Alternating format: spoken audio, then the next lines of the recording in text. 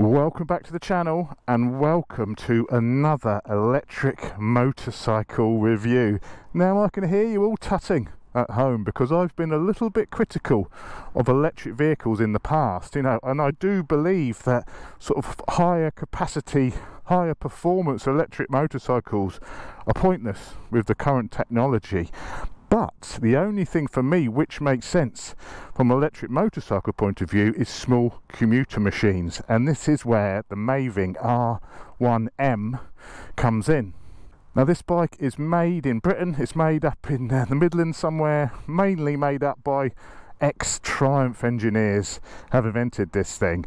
It's only got a 45 mile an hour top speed, that's all you need for urban travel. It's got an 80 mile range and it starts at just £5,000. This, this electric vehicle, to me, makes a lot of sense. So uh, if you're interested in the Maeving R1M, I think it's R1M, but M could be RM1, one of the two, then this is the video for you. So grab yourself a nice cup of tea and I'm going to take this little baby out for a little bit of a spin through the town. I'm not taking this up the hill climb, we're taking this through town where it's designed to run. So if you're interested in this, get yourself a brew and I'll see you after the intro. Chopsy, roll it.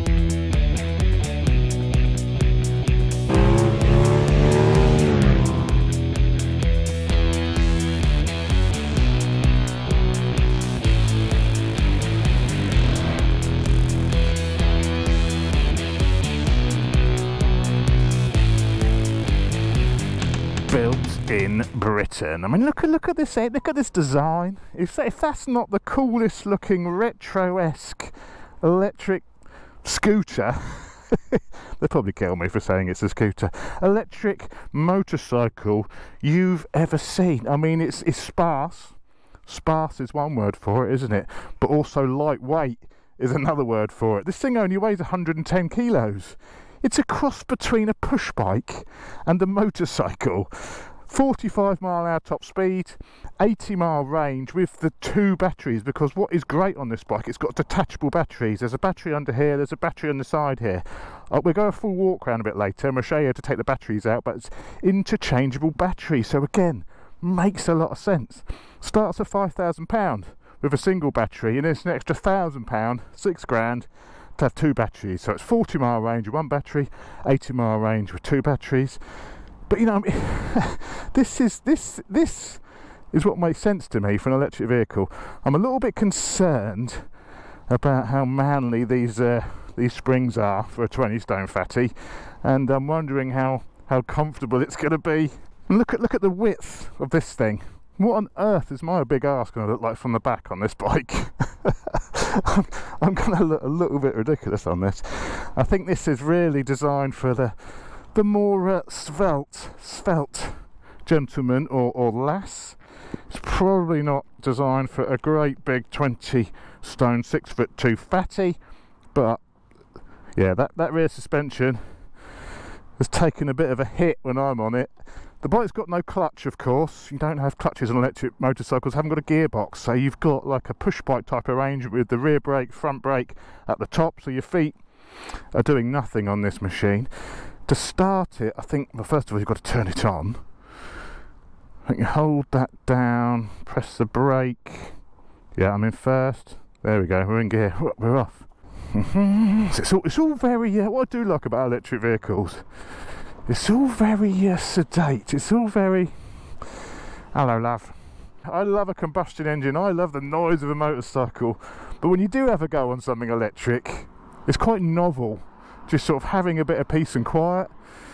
And uh, yeah I do quite like that. I do quite like that.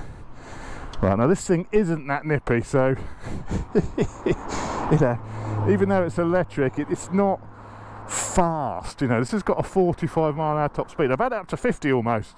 So even with me on it you can still exceed the top speed. But that's that's flat out. That's full throttle. That's full throttle. So I mean it's not you're not going to wheelie this.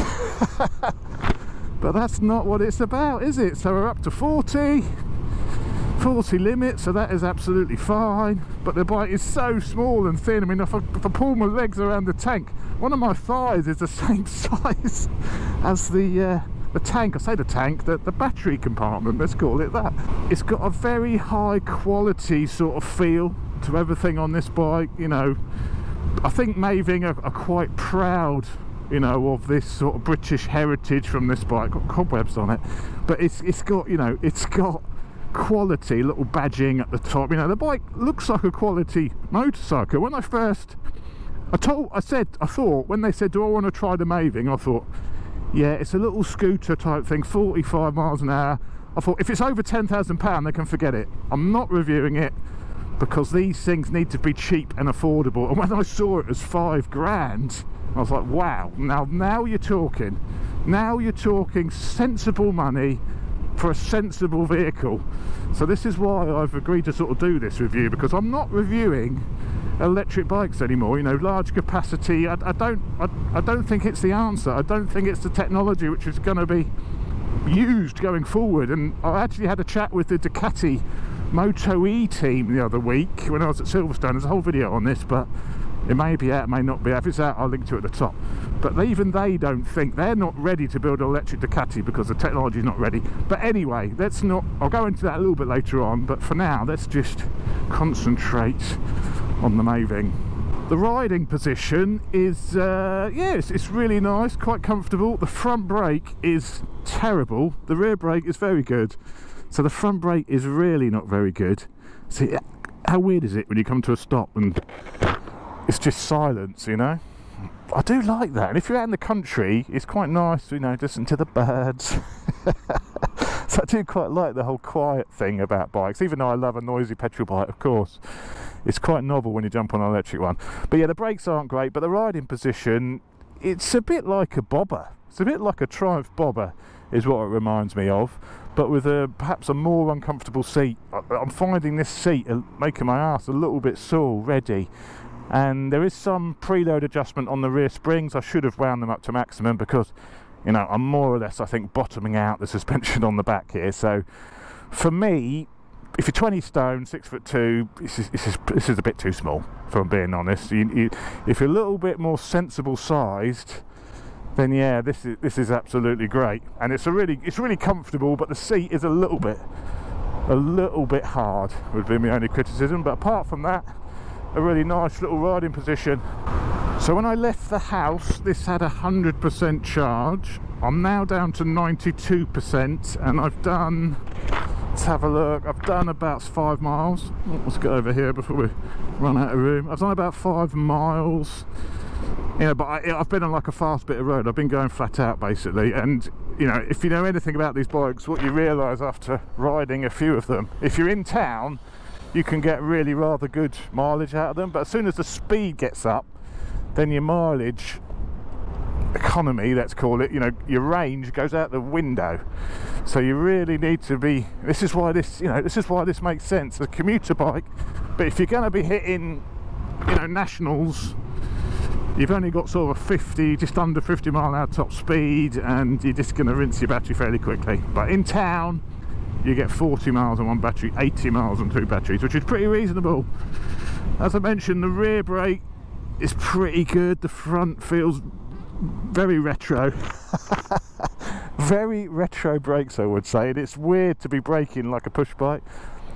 I guess that makes things easier for sort of new riders because this is also sort of CBT compatible so I think this is equivalent really to like a 50cc motorcycle so you know new riders can jump on this. You don't, you can ride this on an L plate. Yes, mate, you can move over. I can't, I'll rev the engine so they can hear me. Let's come through. I'm pulling in front of this guy. Floor it! If it were mine, these bar ends are taking up valuable width. So when you want to commute and cut through traffic, I think the bar ends are not great because it's making it a little bit wide. So let's have a go at a bit of filtrage. Yeah, it's quite, uh, to those mirrors, it's quite wide. Thank you. And I guess when you're filtering an electric bike, you've got to be especially careful because if I'm normally filtering, I'll be doing it in quite a low gear to keep sort of the, the noise up, keep the revs up so people can hear you. Of course, you've not got any of that on an electric vehicle. So you've got to be a little bit aware of what people are going to be doing changing lanes at the last minute and all of that. And also the brakes aren't particularly sharp. And it's weird having to brake like a push bike. Oh, rush hour. There's not many bikes I'd want to test in rush hour. This is probably the only one. It's just so weird being quiet. It's so weird. I mean, normally on electric electric bikes, you normally get a bit of that you get a bit of that whir you know the larger capacity ones you get that whir from the motor. You get nothing from this. It's absolutely silent. It is absolutely silent. Which is really weird because you normally do get something from them. As I say silence is golden. Mm -mm, coming through coming through. Nobody pull out on me please. To charge this it, you charge it from basically your three pin plug at home. It comes with a charger obviously um, and you charge it from home you know on a three pin I don't think you can plug into any like petrol station chargers you know. It's not, it's not about fast charging you know. It's 80 mile range to get to work and back. Ah look at the view here look, little wading birds wading in there I'm not upsetting them with noisy motorcycles. so as you can see, you've got the, uh, electronics are in here. You've got this really sort of quite attractive looking big cable going into the battery area, but it's really minimalistic. You know, the motor is in the hub at the rear, and you've got your rear brake there, your shocks. You know, it's it's all pretty pretty simple and a really neat, you know, neat layout. Let's check it from the other side.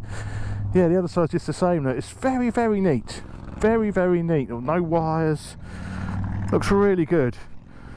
You know, nice leather seat, you know, with the logo on the back of it. So to get into the battery compartments, when you turn it off, you get like a countdown on the screen there, and you've got to press the eject button, the open button, to open up the battery compartments. So that's one of the batteries. So then you just pull that out. I mean the batteries, I mean you've got little wood inlays on there with the logos on. I mean look at that. The quality of that is quite heavy. I know what that weighs. It's a good uh where is it so heavy it is. It's heavy though. That's 15 kilos, 10 kilos, 10, 15 kilos. And then only goes in one way. Slot it in slap it in and there's another one in here. So let's see how we get into that one. Ah there we go. So I think you've got a double press. Gets you into this battery compartment and it's the same thing. Just pull the battery out. Job done. So you've got two of these. These are 40 miles each on the range. Push the button. I've used one blob there look. So I guess if you just had the one battery you could use this as storage space just push it in like that. You know it's as simple as that. Really easy. Lift them out bang them in. And the whole thing with one battery weighs 110 kilos. Everyone's giving me some funny looks like, what is that guy riding? Why does he look like a gorilla on a tricycle? I wish it had a little bit more punch for, for pulling out or you know have a slightly more aggressive map because it's a little bit flat but I guess that you know they do that to give you the range doesn't it? If they're making it super punchy then you're not going to get you're not going to get your 80 miles out of it. It's very pleasant very very pleasant. I'm going to go left here and we'll go for a little bit around this Hayling Island by the way. I used to live here so I know Hayling Island very well. I grew up here. I grew up here and we can have a little country run through Northney here. We'll see if we can get a flat out. That's full, full power this is coming up to 40 now. But I think if you're looking for a vehicle to do the commute to work and back every day this is perfect. This is absolutely perfect providing you don't have to go any faster than 45 miles an hour on your commute then and if this does a true 40 miles per battery which we're probably not going to be able to test today. I mean, I'm guessing we'll see what we get. We see what we get. We've got 85% still at the moment. We'll see what we get. You know, whether that is, you know, best possible situations or whether that is quite a, a realistic 80 miles. So I think for £5,000, this makes a lot of sense in in a certain you know certain use cases. Certain use cases absolutely perfect. If you just want to go out down the cafe something you want to just plug in at home. I think the I think the removable batteries is a great idea because you know after the battery life is getting bad you, you know you can just buy a new one slap it, slap it in. So that it comes with a two-year warranty and I think that includes the batteries as well. So you don't get like an extended warranty on the batteries I don't think from what I could see on their website. But as the battery is removable it's not an integrated part of the motorcycle which is what they are on other you know on other electric bikes. The batteries are integrated. You can't remove them. They're an integrated part of the bike. So when the battery loses its capacity loses its performance then you're basically into uh, replacing the whole vehicle. With this you can just spend a thousand pound it's a lot of money for a battery but then you're good to go again. It's like new again. So that makes a lot of sense the old detachable battery thing. And then if you do have two batteries and you're riding to work you could have one on charge at work couldn't you? And then one at home if you know if you're within that 40 mile range. And then you're not running such a heavy vehicle you've got a bit of storage then to put your lunch in you can get all sort of panniers for this as well. Does little saddlebags and stuff you can get for this if you do want to carry a few a few extras with you. But uh, yeah, I like this. It is quite charming. It's quite a charming little vehicle. So we've done 20 miles and we've used 20% of the battery. So there you go. You are looking really at about 80 miles for 100% of the battery, aren't you? I'd say the 80 miles is actually pretty accurate. I'm going to see my mum now. And see my mummy. But yeah, I really like what Maeving's done here. I'm pretty impressed with this. As I said at the beginning, this is the only sort of electric motorcycle which for me makes any sense at all. And uh, yeah, I think the quality of this is great. I love the fact that it's built in Britain. I really like that. You know, it, it does everything I'd want from this type of vehicle or just a little bit more power in the brakes and a little bit more go on the throttle.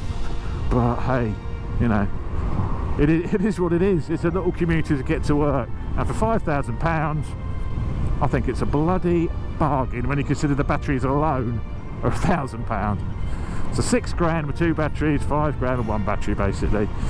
So there you are. So if you're interested in one of these it has the chops stamp of approval. You can go and purchase with confidence. Thanks for watching guys. See you the next one. On something a bit more noisy next time. Oh. Sorry, I didn't just mean to beat you two ladies. I accidentally pushed the button, honestly.